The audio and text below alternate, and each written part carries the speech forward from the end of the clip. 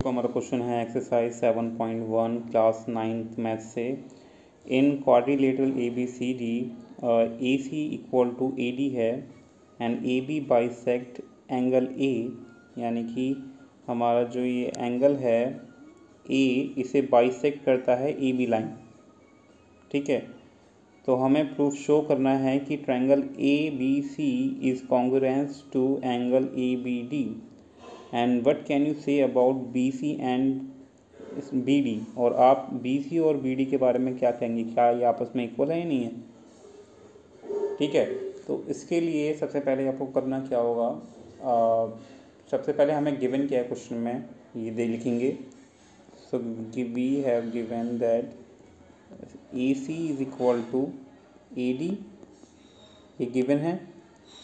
And साथ में हम बोलेंगे कि ए बी क्या है हमारा? A B is a bisector जो भी गिवन होता है क्वेश्चन में पहले वो लिखते हैं। Bisector of angle A fine after this you need to write in triangle A B C A B C and, sorry A B C and A B D इन दोनों ट्रायंगल में हम देखेंगे कि कौन कौन सी चीज़ें इक्वल है। सबसे पहले हमें पता है कि ए बी बराबर है ए डी के, ये हमें क्या है? गिवन है। तो रीज़न भी लिखना है कि किस रीज़न से ये इक्वल्स होंगे तो ये हमें गिवन है क्वेश्चन में कि ए बी बराबर है ए डी के। दूसरा ये है कि angle C A angle C A B बराबर होगा एंगल जो एंगल सी ए बी कौन सा है?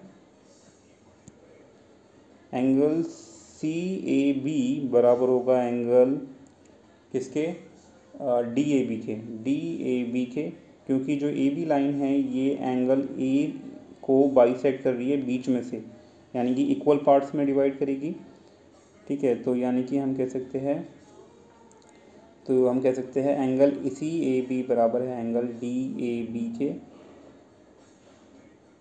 क्यों? क्योंकि इसका रीज़न भी आपको लिखना होगा।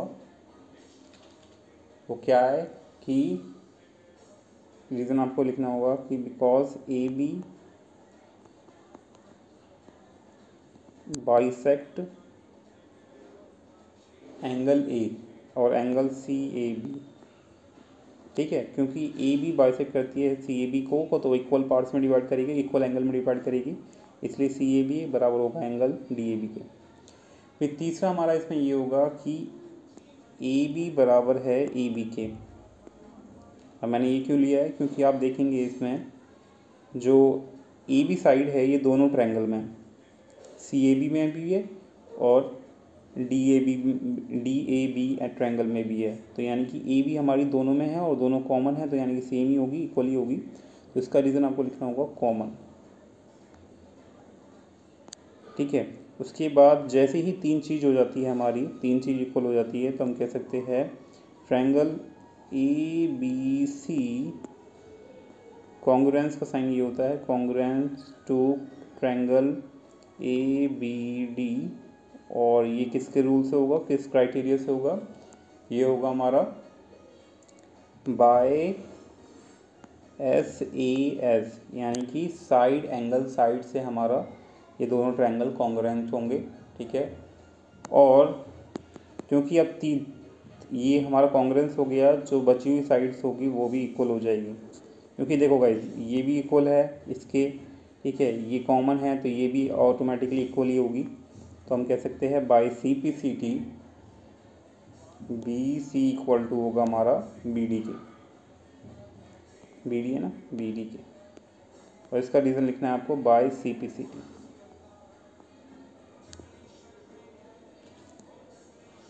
ठीक है? सो या that's it hope you understood thanks for watching bye and don't forget to subscribe if you new on channel